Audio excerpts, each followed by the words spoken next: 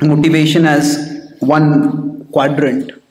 Hmm. There are four quadrants here, and morality as another quadrant. So we are looking here at the quadrant where there is motivation but no morality. Hmm. A person has a drive to do things, but that person doesn't have any boundaries over there. So Duryodhan will fall over here. Okay. So now, if we look at these four categories, if a person has no motivation and no morality, this, this will be the left bottom quadrant.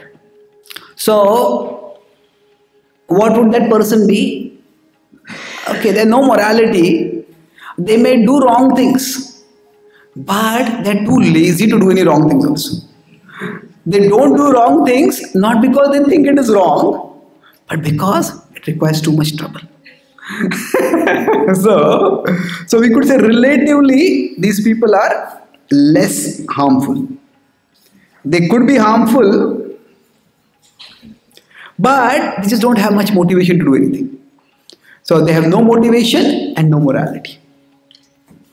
That's a, that's that's a person. Who, if something is easily available for them, they may do terrible things. Mm-hmm.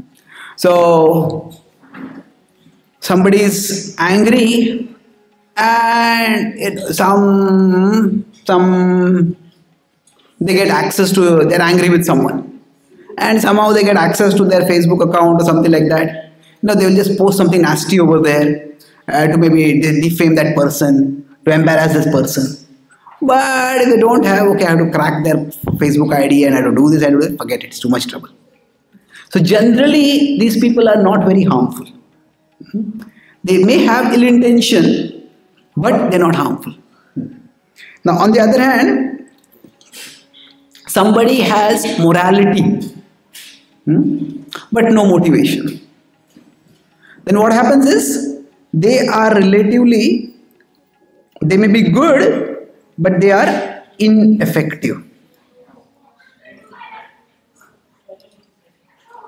Because they won't do anything wrong so, eh, however, they, although they want anything wrong, they don't have the zeal to push to do anything. But these are good people, but they are good and literally low drive people. Now, such people often in today's world they become what is called as keyboard warriors. Keyboard warriors. That means they'll comment on social media. Oh, this is terrible. They'll comment on social media. This is bad. This is bad. This is bad. But if they'll do something, hey, forget it. That's too much trouble.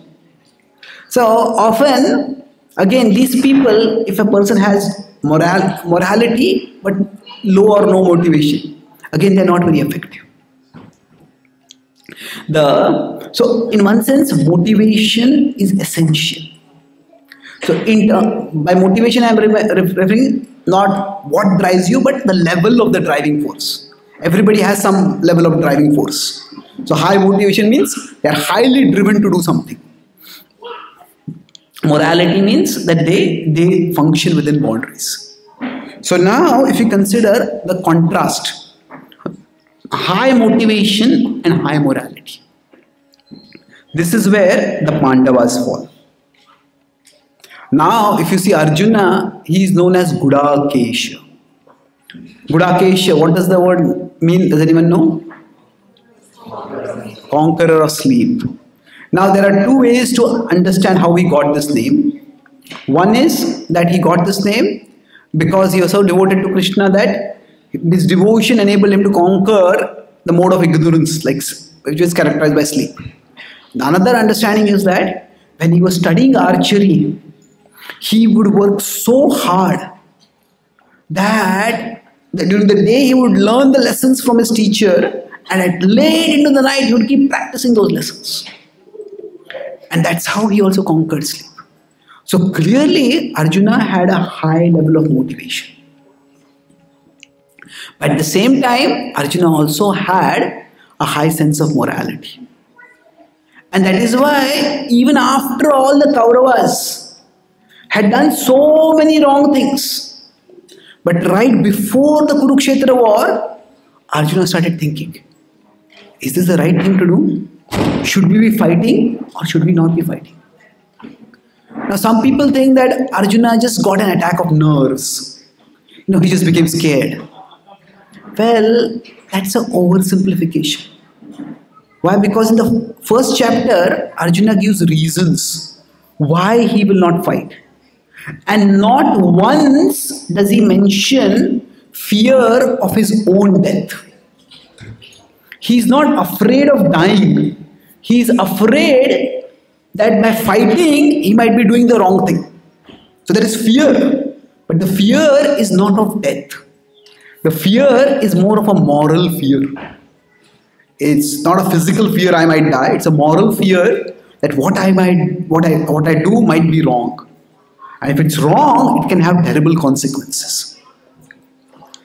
Now, similarly, Yudhishthir, of course, Yudhishthir had a very high moral sense and he also had motivation. That's how he, motivation in the sense of, again, drive. That's how he worked hard to perform the Rajasuya Yajna and the Pandavas. They were given a barren wilderness. They just sent into the jungle when they were given the Khandava And the Pandavas converted into Indraprastha. So they clearly had motivation and morality. So when Krishna talks about Daivi and Asuri Prakriti, so the divine and demoniac nature. Now all four categories can fall in different, all, all these four people in the four quadrants, they can fall in these two categories. But the people who really matter are the people with some motivation. People who have not much motivation, they can't make much difference, either positively or negatively. Hmm? So, what is best is people with high motivation and high morality. And people with what that they are very powerful. On the other hand, people with high motivation and low morality are they are especially dangerous.